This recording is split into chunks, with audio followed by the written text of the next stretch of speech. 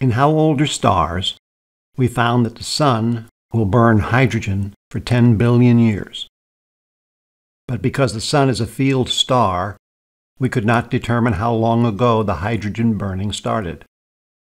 In How Old is the Earth Moon System, we found that the oldest solid Earth and Moon material was 4.3 billion years old. But we could not determine the age of the Earth from its original start because the giant impact turned the mantle to magma. In this chapter, we'll cover the age of the solar system itself, which will give us both the age of the Sun and the age of the Earth.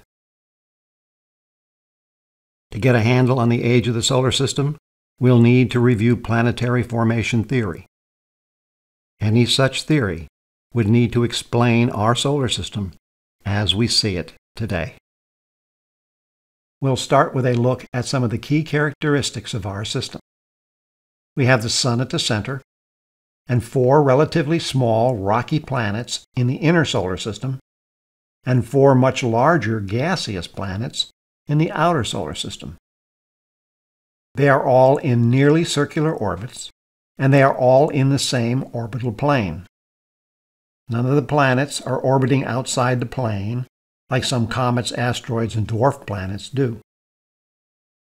Our theory of planetary formation will need to explain these facts.